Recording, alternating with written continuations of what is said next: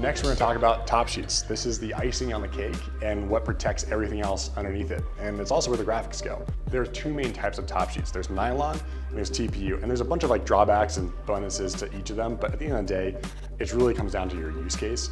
Uh, what you can do to each of them though, which is kind of fun, is all the texturing you can do to the top side of that, that material. So you can have either a matte uh, top sheet, which is what you see here. You can also do a, a glossy one, so it's a lot more shiny. Then some companies like a DPS will have a very texturized matte, which is more for higher durability. To get a top sheet to have graphics on it, there's basically three different ways you can do it.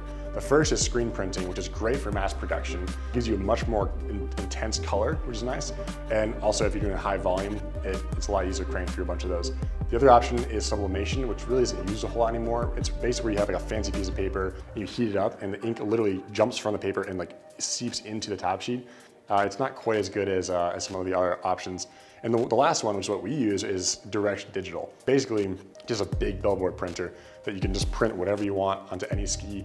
It's great for a lot of flexibility, and it's if you're not doing you know 10 or 15,000 units a year, uh, it's a lot easier to, to work with this rather than setting up a screen print every single time. Direct digital has a lot of benefits to it.